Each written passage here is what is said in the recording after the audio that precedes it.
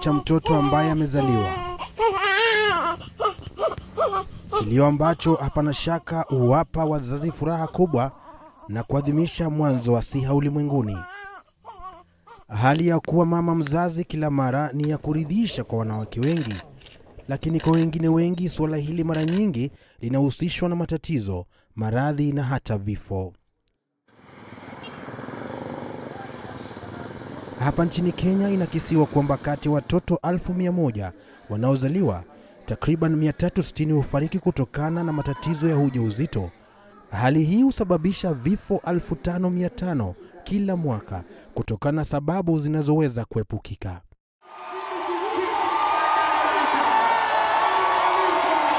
Ni kutokana na sababu hii ambapo mama wa taifa Margaret Kenyatta kwa muda wa miaka sita amejitolea kuhakikisha maslahi kamili ya akina mama, hususan afya yao ya ujauzito ambayo inahusisha mpangilio wa uzazi, afya kabla na baada ya kujifungua, inayolenga kupunguza vifo vya akina mama na maradhi miongoni mwa watoto. Akiwa mtetezi mkuu wa kampeni ya kupunguza vifo vya akina mama wanapojifungua Karma, mama wa taifa amevalia njuga azma ya kuhakikisha hakuna mama anafariki anapojifungua na kwamba watoto wote nchini Kenya wanastahili kusherehekea mwaka wao wa tano baada ya kuzaliwa. Serikali za kaunti zinaunga mkono kikamilifu hatua muhimu za mama wa taifa kuhakikisha hakuna vifo vya mama wanapojifungua.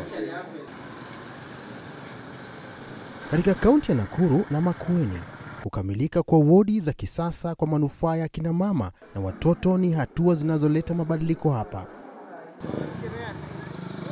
Kaunti hizi mbili ni za kwanza chini ya mfumo wa ugatuzi kuanzisha wodi maalum zenye vifaa kamili kwa ajili ya afya ya kina mama, hii ikiwa ni moja ya mikakati ya kuhakikisha afya bora kwa wote chini ya mpango wa nguzo nne kuu za maendeleo.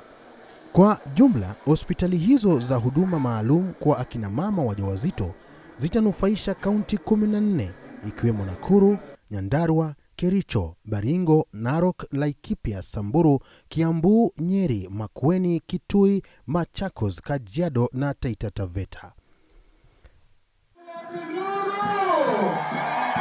Tumshangilie Mheshimiwa Baba wa Taifa, tukikaribisha kwa makofi.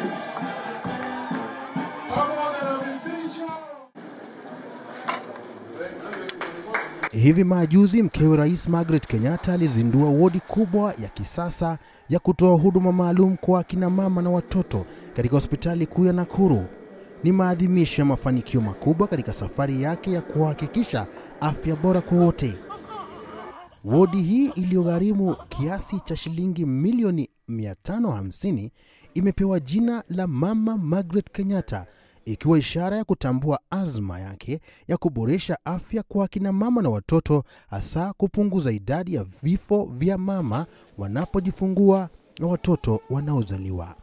While we were approaching the completion of this particular facility, we were confronted with the question of what we would name the facility. And Your Excellency, many names were considered, but when your name was brought on the table, there would be no name that would be better than yours. It is a crowning of your five, six years of hard work in that sector. And indeed, we found that all that this hospital stands for is also what you stand for. Wodi ya mama na watoto ya Margaret Kenyatta ni ya kuvutia na ya kipekee katika hospitali hiyo ya Nakuru ya kiwango cha level 5 iliyojengwa kwenye ekari 75 za ardhi. Vifaa vinavyopatikana katika wodi hii mpya yenye vitanda 260 ni kitengo cha akina mama wajawazito, wodi ya baada ya kujifungua, wodi ya kufanikisha akina mama uzazi wa akina mama, vyumba vinne vya upasuaji, vyumba vya wagonjwa mahututi kwa watoto wanaozaliwa na vitengo 60 vya watoto kukua. Wodi hii itapunguza wasiwasi wa kutokea kwa vifo vya akina mama wanapojifungua na watoto wanaozaliwa katika eneo la Nakuru ambavyo kwa sasa ni 381 kati ya watoto 1100 wanaozaliwa ikilinganishwa na vifo 362 kati ya watoto 1100 katika kiwango cha kitaifa. Wodi hii kubwa ambayo itapunguza msongamano kwenye hospitali kuu ya Nakuru level 5 itahudumia kaunti nane ambapo watoto 30 huzaliwa kila siku. even as we invest into a service delivery point like this, we are considering the surrounding counties, which we look unto our, upon us uh, to be able to give them the referral services. So we are looking at Nyandaro, we are looking at Narok, we are looking at Laikipia, Baringo, Kericho, and even all the way to Saburu. Because when they have a referral case, they transport the patients to us and we have no alternative than to take care of them. Wiki moja baada ya kufunguliwa, wodi hii imeanza kusajili idadi kubwa ya kina mama utafuta huduma za kabla na baada ya kujifungua. Idadi hiyo imeongezeka kutoka watoto 30 waliokuwa wakizaliwa awali kila siku katika hospitali hii kuu ya Nakuru level 5 na kufikia watoto kati ya 40 na 50. the numbers have increased almost double. There's an average of uh, around 40 to 50 normal deliveries, and the CSS of an average of between 12 to 15 per day. That translates to around uh, estimate figure of 1,500 deliveries per month. Those are normal deliveries, and the, the CSS around 450. That's almost the double the workload that we had from the, those statistics show shows to you that mothers now have started embracing the, the you units. Mary Njeri Mwangi, mama wa miaka 29 aliye na watoto wawili pamoja na Teresia Wanjiru Kariuki wa miaka 33, wote wamejifungua kwa njia ya kawaida na wamekiri kwamba walikuwa wameazimia kujifungua katika hospitali za kibinafsi hadi waliposhuhudia mama wa taifa akizindua wodi hii mpya hapa Nakuru mapema mwezi uliopita. Hii unit niliona ikifuguliwa kwa TV, hata sikuawea kuna unit kama hii. Vile niliona, mpango wangu ulikuwa niende private, but I changed my mind after kuona hii. Saa tunafurahi sana atungeshukuru tungeshukuru mama wa taifa. kulingana na vile nilikuwa nimepanga, nilikuwa nimepanga nitaenda mahali fulani, lakini nikasikia hii mama amefungua, nikaona kwa TV vile ilivyo nzuri, nikasema pia mimi nitakuja. Na sababu nilikuwa nimejifungulia mtoto wangu wa kwanza hapa medical, nikasema tu nitakuja tu hapa medical. Lakini sasa nikilinganisha pale tulikuwa tumejifungulia ile mara ya kwanza, ile maternity ya kwanza na hii, hii iko na space na hii ni kubwa na ni nzuri. Margaret Kenyatta alielezea matumaini kwamba hospitali hii itaimarisha huduma za afya katika eneo hili zima kwa kutoa matibabu mbalimbali ikiwemo huduma kwa mama wajawazito, huduma za matibabu kwa watoto wachanga na uzazi wa akina mama, kutambua saratani pamoja na tiba dhidi ya maradhi kama hayo. This hospital will enhance health services in this region by providing treatment for a wide range of services, from maternity to pediatric, gynecological conditions, to diagnostic for cancer and related oncology services. Mkewe rais pia alielezea furaha kwamba wodi hiyo mpya itapunguza idadi ya vifo vya akina mama wanaojifungua katika eneo hili ambalo limeorodheshwa nambari nne kati ya maeneo 15 yaliyo na idadi kubwa ya vifo miongoni mwa akina mama. Alisema kuna ushahidi kwamba maoni, rasilimali na ushauri wa kitaaluma uliweka mwongozo wa kuanzisha wodi hii. It is the first of its kind in this region, and I thank the county government of Nakuru for their commitment to contribute towards the government's agenda of universal health coverage for all. As I toured the hospital, it was evident that a lot of thought, resources, and professional consultation guided the planning of this health facility.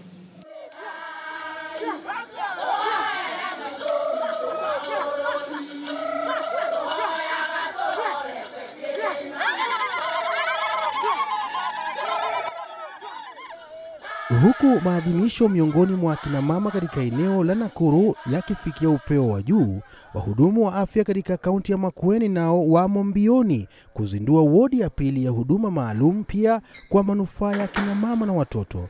Hospitali hii ya kaunti ya Makueni iliyogharimu shilingi milioni 130 iko tayari kwa uzinduzi.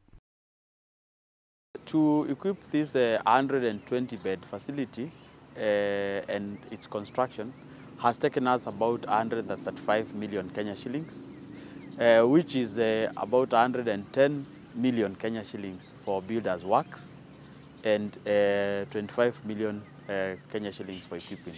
The facility is uh, uh, equipped. We are doing final touches and we expect to have it operational very soon. Hospitali hii yenye vitanda 120 imejengwa kwenye ekari 24 zinazojumuisha pia hospitali ya rufaa ya Makueni.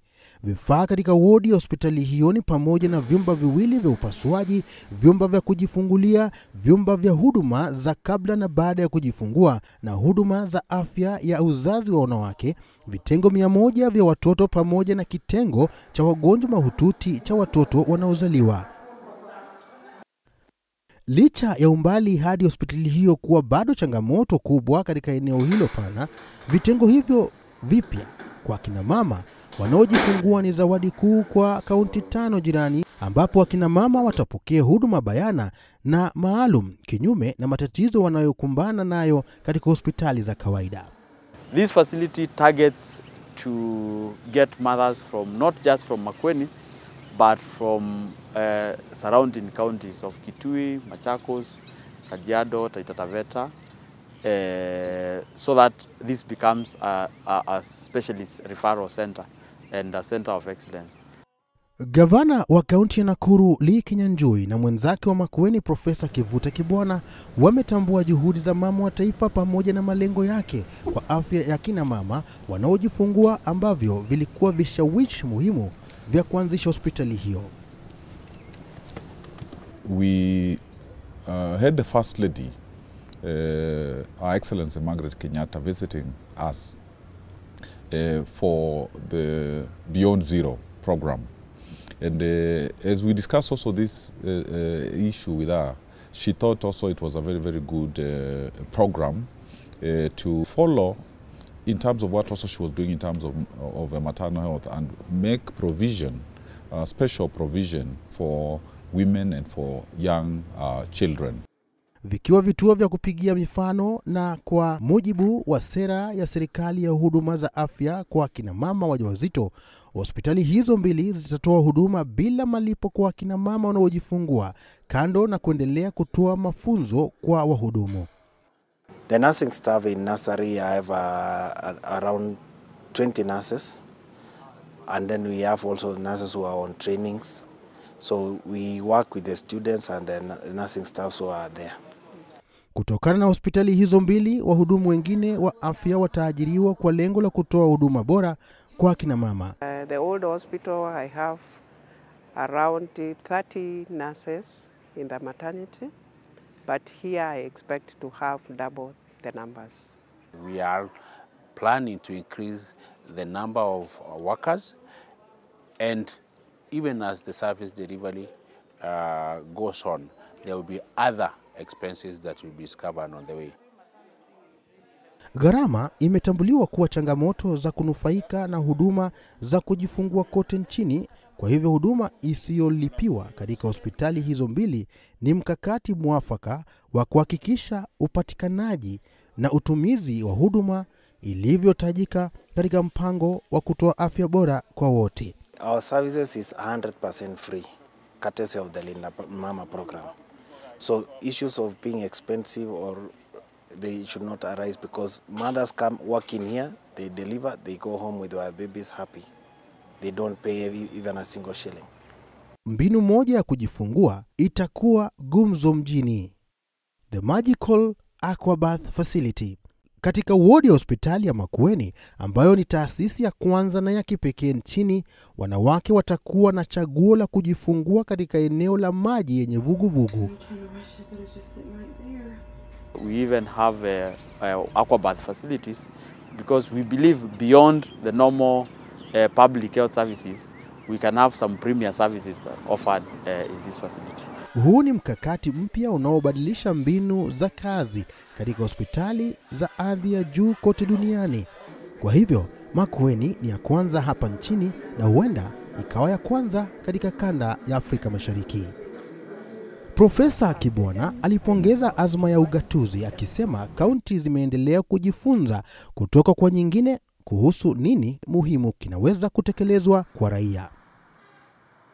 when you do something in one county, another county, uh, when we do benchmarking, is able to also want to do the same thing. And uh, that is really uh, giving a lot of impetus to devolution. For example, uh, Governor Ngilu came to Makuene. She saw what we are doing about universal health care. And then she went to Kitui and uh, started uh, a similar universal uh, health care. Uh, in other areas, uh, you find that, for example, in Laikipia, they are doing very well in terms of uh, making people get into NHIF. So again, as Mokweni, we go there and we look at what is it that they're achieving and we copy. Profesa Kibwana alikiri kwamba wataalam maalum watasalia kuwa changamoto katika hospitali hizo mbili na utoaji wa huduma ya afya kwa ujumla. We have challenges of personnel, especially specialist personnel, and uh, you know one wishes that we could get a way of training even specialists together, so that we can have uh, an abundance of uh, these uh, specialists. It takes a bit of time to uh, to, to, to train them. Uh, so um, I think when you provide properly for the health of the people, they're in a position to work. Uh, and and it is it is it is it is one of the things that as a country, uh, if you do it well, uh, then that is a, a big plus.